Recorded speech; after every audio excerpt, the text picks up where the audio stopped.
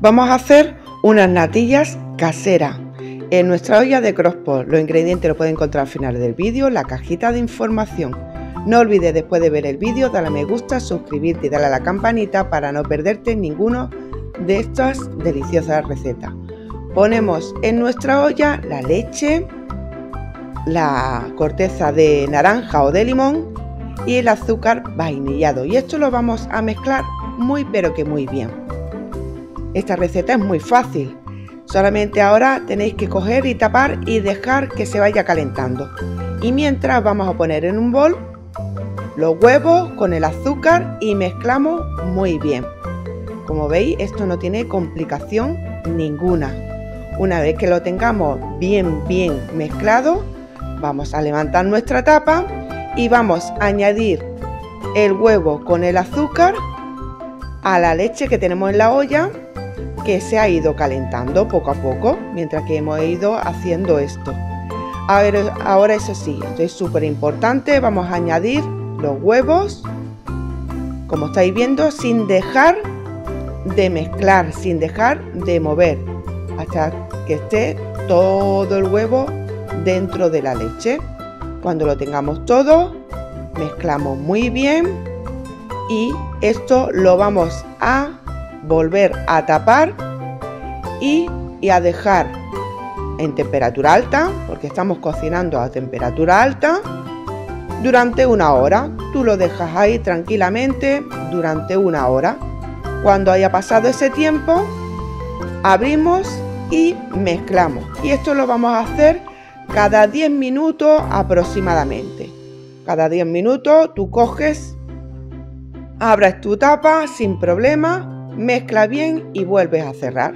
Espera otros 10 minutos y así, de esta manera, irá espesando nuestra natilla de una forma pues da fuego lento como nos gusta a nosotros cocinar. Mirar, vamos tapando, como os digo, y vamos haciendo eso. Y una de las veces verás que ha pasado esto. Nuestras natillas ya están hechas. Esto tarda una media hora o 45 minutos. No creas que tarda mucho más, ¿eh? Mira, veis, ya está espesita y ya la tenemos lista nuestras natillas. Toda una maravilla y una delicia. Cuando ya las tengamos listas, tenemos que sacar nuestra olla de cerámica de la olla de cocción para que no siga y no se nos queme. Ahora sacamos esa naranja que le hemos puesto, la cáscara de la naranja o la cáscara de limón, lo que hayáis utilizado. Acuérdate de suscribirte al canal, si no lo has hecho este es un buen momento, así no te perderás ninguna de estas recetas.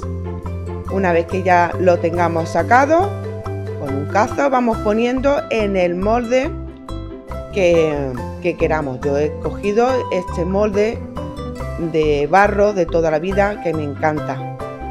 Y luego cogemos las natillas y lo vamos a decorar o bien con canela o si queréis con una galleta por encima o galleta y canela. Esto ya lo dejo a vuestra elección, lo que más os guste.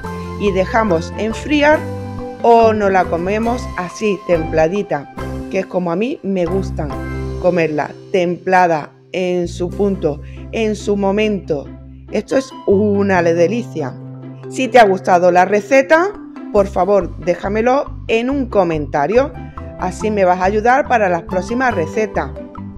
Es una maravilla mirar qué textura más rica.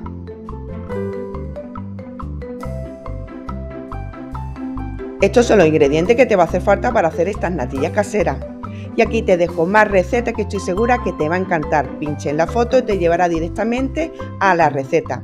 Y este es mi canal Postres Fáciles y Rápido. Allí vas a encontrar una gran variedad de postres que estoy segura que te va a gustar muchísimo. Pinche en la foto y te llevará directamente al canal.